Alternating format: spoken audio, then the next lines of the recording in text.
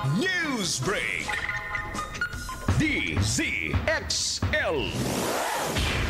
Breaking news. Mga kasama sa kalalabas pa lamang na Architecture Licensure Examination June 2018, nasa 1,778 ang pumasa sa 3,177 na kumuha po na eksaminasyon. Pinakamarami sa mga pumasa ay mula naman sa University of Santo Tomas. Samantala nanguna naman sa examination si Paulo Gabriel Torres Martires mula sa Polytechnic University of the Philippines, Maine sa Santa Mesa. DZXL. Breaking news. Samantala sa ilang pahong mga balita, Senador Panfilo Ping Lacson ginagarantiyahan na hindi sangkot sa iligal na droga si Mayor Antonio Halili. Kasama natin sa balita si XL Radyoman 1, Grace Vergel Mariano. Ginarantiyahan nga ni Senator Ping Lacson na hindi sangkot sa iligal na droga ang pinatay na si Tanawan City Mayor Antonio Halili. Di ni Lacson kaibigan niya si Halili at matagal na niyang kakilala noong siya ay nasa serbisyo pa bilang opisyal ng Philippine National Police. Dagdag pa ni Lacson, ipinagtanong din niya sa mga sources niya nang lumabas ang pangalan ni Halili sa narco list pero wala siyang nakuhang feedback. Sa pagkakaalam ni Lacson sa operasyon ng Weteng sa Region 3, naging sangkot noon si Halili. Pero ayon kay Lacson, noong naging siya ng Philippine National Police ay ipinahinto niya ang operasyon ng Weteng kaya posibleng huminto na rin si Halili.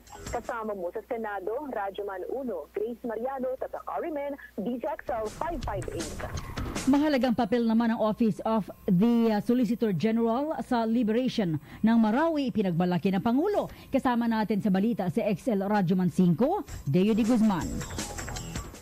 Kinilala ni ang mahalagang papel ng Office of the Solicitor General sa pangunguna ni Solgen Jose Calida sa paglaya ng Marawi City laban sa teroristang Maute.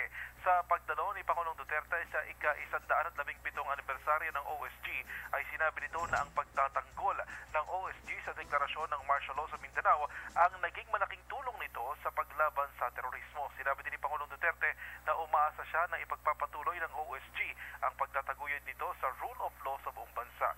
Ang Solicitor General naman ang sasagot sa isinampang co-warrant of petition laban kay Pangulong Rodrigo Duterte sa Korte Suprema ni Attorney Eli Pamatong kung saan hiniling na ng kataas-taasang hukuman ang komento ng Pangulo sa isinampang kaso laban dito.